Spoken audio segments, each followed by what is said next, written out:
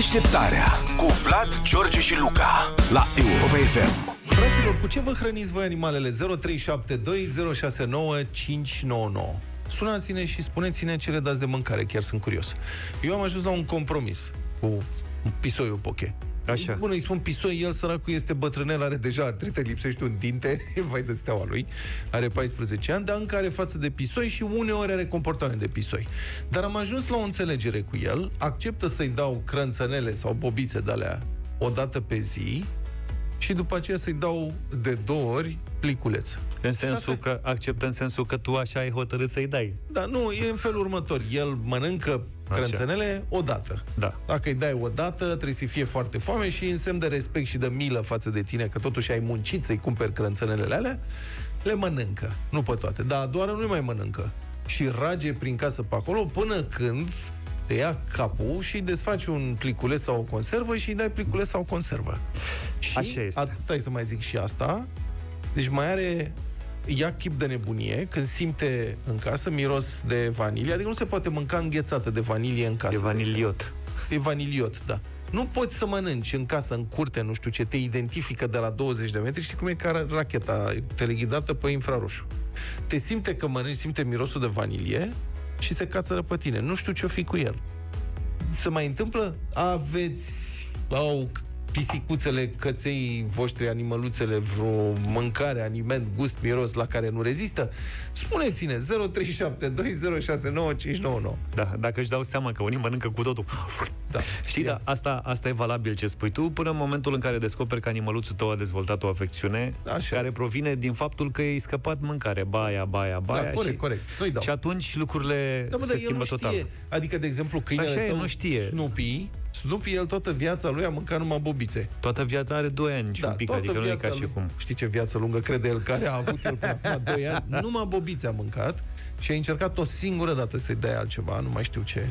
Și plângea de fericire. În schimb, Zara a primit mai multă mâncare și n-a fost tocmai bine. Hai să vorbim cu Roxana. Bună dimineața! Bună, Roxana! Bună dimineața, băieți! Bună. De curând, în familia noastră a apărut un nou membru, un pișon, maltez. Așa. Uh, este o rasă foarte sensibilă. Eu n-am știut până acum că n-are, are voie doar să mănânce strict granulele ei, despre care vorbeam, de fapt. Este foarte pofticioasă. Pe de parte îmi este și milă. Când Gata. stau la masă și mănânc ceva, mâncare gătită, vine și uh, face așa ca și cum ar plânge. Un fel de șantaj emoțional. Mhm. Mhm. Și vă dați seama, e greu de obținut. De parte, pe de parte am înțeles de la veterinar că nu are voie să mănânce, că face alergie. Strict mâncarea ei. Este o rasă destul de sensibilă. Dar, pe de o parte, mi-aduc aminte de câinii de la țară, ai bunicii. Știți cu ce hrănea bunica? Câine? Cu mămăligă. mămăligă Cu pâine cu și apă. cu pâine. Mama Liga nu Exact, dezvoltă și- alergii. Da. Exact, pâine și cu cu apă. restul de la mâncare, exact. Și Da. nu mai făceau atâtea alergii. N-avem de unde știi Nici nu- lucrul ăsta. Exact, dar nu mergeau la veterinar, adică erau oarecum mai sănătoși. nu erau de nici câini- de parazitați, n-aveau...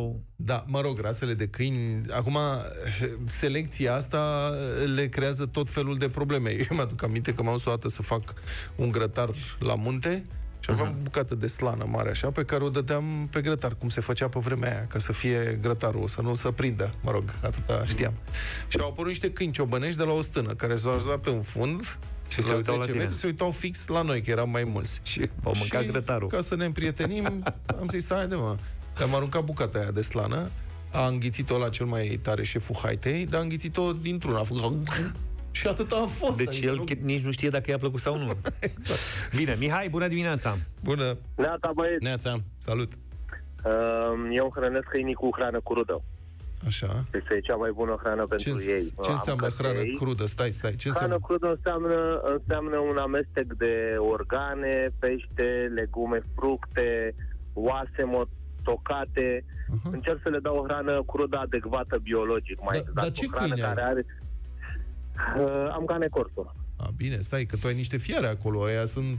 Dacă dai la bișonul maltez carne crudă, Uh, se poate, da. ăla cred că E îl o ia- hrană îl ia cu- plânsul. La cane corso și un Nu. calorifer, dacă îl desfaci, îl pui în combinația asta, nu cred că își dai Nu, seama. sunt, sunt niște pisici mai mari cane corso, de fapt. Sunt foarte blânzi, sunt foarte iubitori, sunt, uh, sunt foarte echilibrați. Ai mai mulți? Iar eu, Uh, da, am mai mult. Și nu mai ai Uh, vecini pe- acum, nu? Am vecini care au și ei căței, câinii mei se înțeleg bine cu căței lor. Suntem o familie, ca să spun așa. Bine, domnule, Am interesant. înțeles. Bravo, Corina mulțumim. ne spune că are o pisică Mhm. și mănâncă doar bobițe, dar dacă simte miros de măsline, e pe masă. Bă, uite, e fost E grecoică. măsline. Radu, bună dimineața! Bună dimineața, Radu. Neața, Salut. la pisoiul meu, care e motan de 5 ani, uh, nebunia e tot uh, măslina. Măslina, domnule, uite să Și, încep cu și măslina. fiind uh, maidanez sadea, cred că în gândul lui spune măslină. Măslină. E de la... Deci îi plac măzlinele. Maria, bună dimineața! Bună. Alo, bună dimineața! Bonjour. Te ascultăm. Uh, am un mătănel, are 3 ani și jumătate. Așa? Uh, bobițele uh, premium complet Da. food, pentru motenei sterilizați. Da? Doar dimineața câteva bobițe așa În scârbă. le crânțene Bine, hai, ca și cum îți fac uh, hatărul nu ăsta. e de bine. Și în rest? Și în rest mănâncă inimă de vită, Mua, tăiată ce bucățele tare. crudă Da. și ficat de vită. Dom'le, se de... e treabă. Kobe. Da. Băi, pisicile cel puțin, nu știu câinii. Câinii mi se par mai lacum, dar pisicile pot fi foarte selective în ce mănâncă. Atunci când eram puști, aveam mereu pisoi. Era unul, un pisoi negru, care era într-un meci permanent cu tata. Ăsta taică mi încerca să-i dea uh, pâine cu pateu. Și ăsta alegea numai pateu. Tata atât de exasperat, într-o dimineață a luat o felie de pâine și a făcut firmituri mici, mici, mici, mici și a făcut chifteluțe din firmituri de pâine cu pateu. Și pisoiul ăla a stat 20 de minute și a ales fiecare firmitură. Și a lăsat Sub- firmiturile Da. lor. Și în- Bravo. Deci, într-o parte era un mormănel mic de firmituri umede și mâncase Ce tare. tot pateu. Am muncit 20 de minute să separe pateul. Deșteptarea cu Vlad, George și Luca la Europa FM.